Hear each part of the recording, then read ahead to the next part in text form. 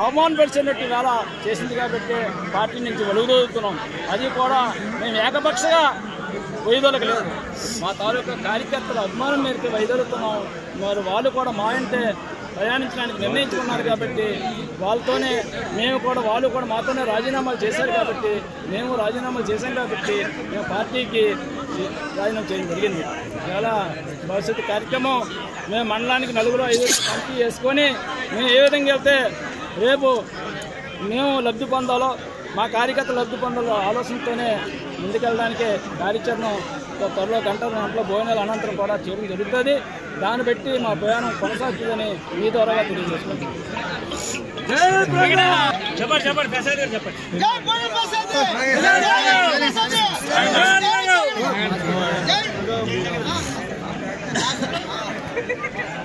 ఏంటి కొద్ది వెనక్కున్నా ఈరోజు నియోజకవర్గంలో ఉన్నటువంటి వేలాది మంది కార్యకర్తలు నాయకులు పంచాయతీ సర్పంచులు ఎంపీటీసీలు. ఎంతో బాధతో ఎంతో బాధతో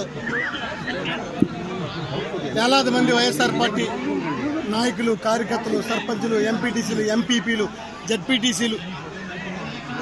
వైఎస్ఆర్ కాంగ్రెస్ పార్టీకి రాజీనామా చేయడం జరిగింది. యలమంచి నియోజకవర్గంలో తొమ్మిది సంవత్సరాలు బట్టి పార్టీ ఆవిర్భావం నుంచి పనిచేసినటువంటి ప్రగణ నాగేశ్వరరావుని నన్ను అవమానం చేసే రీతిలో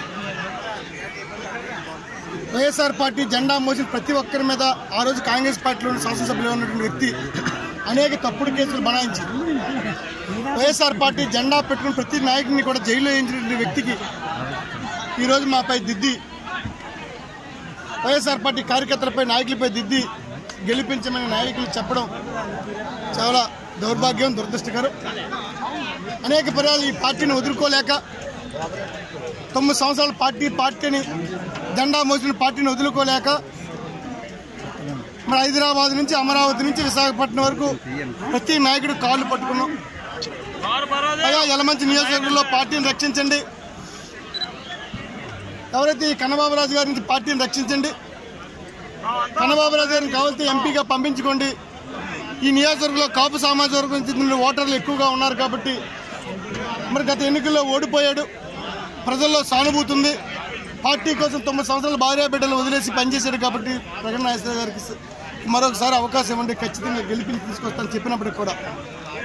పెద్దలు మా మాటను పెడచెవిన పెట్టి కేవలం ఒక వ్యక్తి కోసం ఒక వ్యక్తి ఇచ్చిన బహుమతి కోసం వేలాది మంది కార్యకర్తల్ని పార్టీ కోసం తొమ్మిది సంవత్సరాలు రోడ్డుని పడి పార్టీ కోసం జెండా మోసిన కార్యకర్తల్ని నాయకుల్ని వదులుకోవడానికి పార్టీ సిద్ధపడడం చాలా దురదృష్టకర పరిణామం.